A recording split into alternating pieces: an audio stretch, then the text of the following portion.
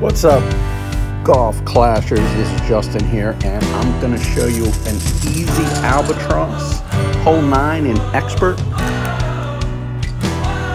in the community tournament March 2nd.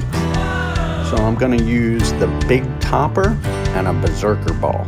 I'm going to play this drive 10% downhill, maximum top spin, two bars of spin to the left.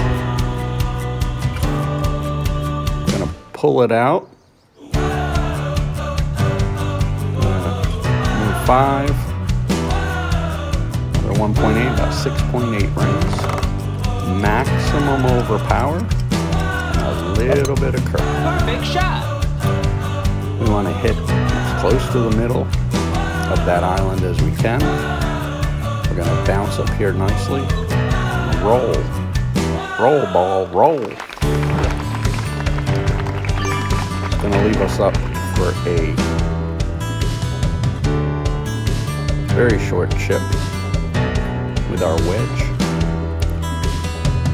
Trying to determine exactly how far I am here. I think I'm about 25% the way to the hole. I'm going to play this one up two rings.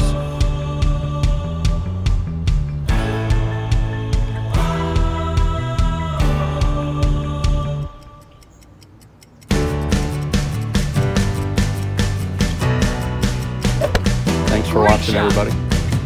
Make sure to like, comment, and subscribe. Good luck. Boom.